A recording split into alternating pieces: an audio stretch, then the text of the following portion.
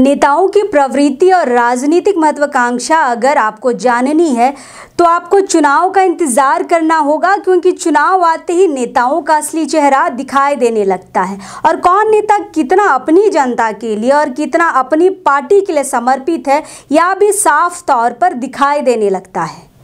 उदाहरण देने की ज़रूरत नहीं है, क्योंकि अभी इसकी ताज़ा तरीन उदाहरण है झारखंड की सबसे बड़े राजनीतिक परिवार की बड़ी बहू सीता सोरेन की, जिन्होंने अपनी राजनीतिक महत्वाकांक्षा की आड़ में बीजेपी का दामन थामा और इसका पूरा इल्ज़ाम सोरेन परिवार और जेमेम पर लगाकर दुमका लोकसभा सीट से बीजेपी की तरफ़ से अपना टिकट कन्फर्म करा लिया। इस फैसले से पहले उन्होंने 15 साल जिस पार्टी की विधायक रही, ना तो उनका ख्याल रखा, ना पार्टी का ख्याल रखा, ना ही जामा की जनता का जिन्होंने उन्हें बीजेपी के खिलाफ या जेएमएम के समर्थन से विधायक बनाए रखा था। उनको तो यह भी ख्याल नहीं आया कि जामा विधानसभा की जनता का क्या होगा, जो लगभग एक साल विधायक विहीन रहेगी। खैर, सीता सोरेन का नाम आजकल बागी नेताओं की लिस्ट में टॉप पर है। अब राजनीतिक समीक्षकों की माने तो बागी नेताओं की लिस्ट में बड़ा उलटफेर होने जा रहा है। जमेम में शुरू से ही बागी तेवर में रहने वाले बिशनपुर के लगातार तीन बार के विधायक चमरा लिंडा इस लिस्ट में टॉप पर रहने का मन बना रहे हैं। उनकी राजनीतिक महत्वाकांक्षा किसी से छिपी नहीं है। साल 2004 से ही विधायक जी सांसद बनने को आतुर हैं और इस साल भी तैयारी पूरी हो गई है, लेकिन कोई भी पार्टी टिकट देने को तैयार नहीं। सूत्रों की माने तो चमरा लिंडा ने इस साल के लोकसभा चुनाव के टिकट के लिए सबसे पहला प्रयास बीजेपी में किया था। लेकिन बीजेपी ने अपने सिटिंग सांसद सुदर्शन भगत का टिकट काटकर समीर उरांव को प्रत्याशी बना दिया है। फिर कोशिश इंडिया गठबंधन में थी, लेकिन कांग्रेस ने यहाँ से सुखदेव भगत को अपना प्रत्याशी घोषित कर दिया है।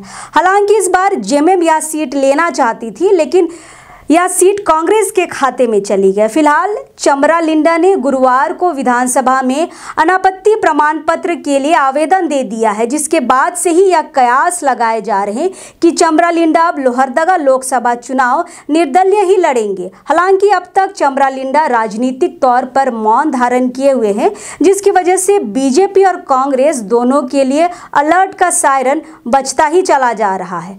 लोहरदगा लोकसभा सीट में चमरा लिंडा के दावे करने के पीछे एक बड़ी वजह यह भी है कि वो इस क्षेत्र में एक मज़बूत आदिवासी नेता के रूप में जाने जाते हैं। और गुमला ज़िले के तीनों विधानसभा क्षेत्र, यानी कि बिशुनपुर लोहरदगा और सीसई में सरना प्रार्थना सभा के ज़रिए बेहद मज़बूत पकड़ बनाए हुए हैं। पिछले तीन लोकसभा चुनाव के परिणाम के आंकड़े तो कुछ ऐसा ही कहते हैं।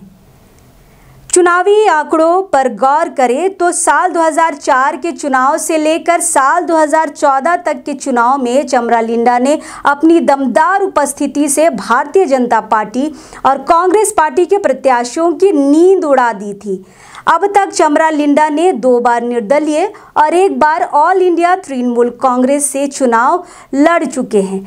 पहली बार साल 2004 के चुनाव में चमरालिंडा लोहरदगा लोकसभा सीट से स्वतंत्र प्रत्याशी के तौर में चुनावी मैदान में उतरे थे।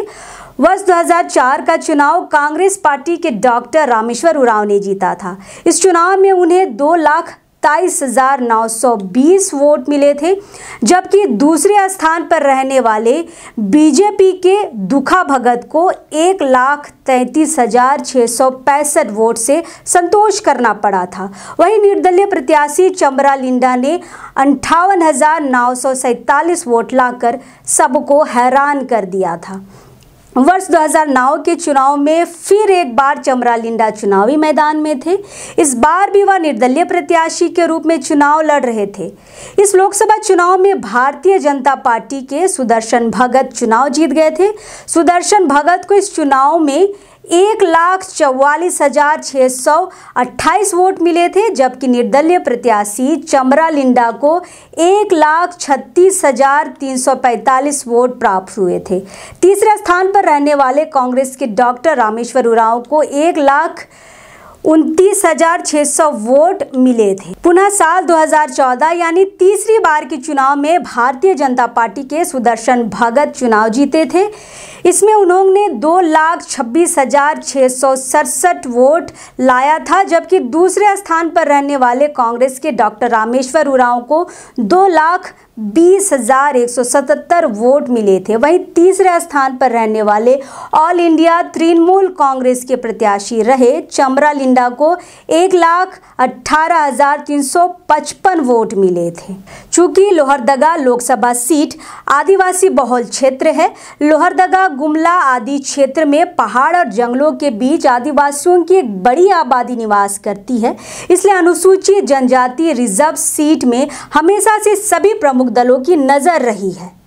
लोहरदगा लोकसभा सीट में भाजपा और कांग्रेस के बीच पुरानी मुकाबला की परंपरा रही है, लेकिन कई चुनाव में बड़े राजनीतिक दलों के प्रत्याशियों के पसीने छुड़ा देने वाले चमरा लिंडा के इस बार चुनाव में उतरने की स्थिति में भाजपा और कांग्रेस के लिए यह राह आसान नहीं होगी। यदि चमरा लिंडा चुनाव लड़ते हैं तो इसका सबसे अधिक नुकसान कांग्रेस पार्टी को होगा, यानी कि गठबंधन को होगा। खैर, ये तो देखने वाली बात होगी कि इस त्रिकोणीय लड़ाई में जीत पार्टी समर्थित प्रत्याशियों की होगी या फिर राजनीतिक महत्वाकांक्षी बागी नेता की?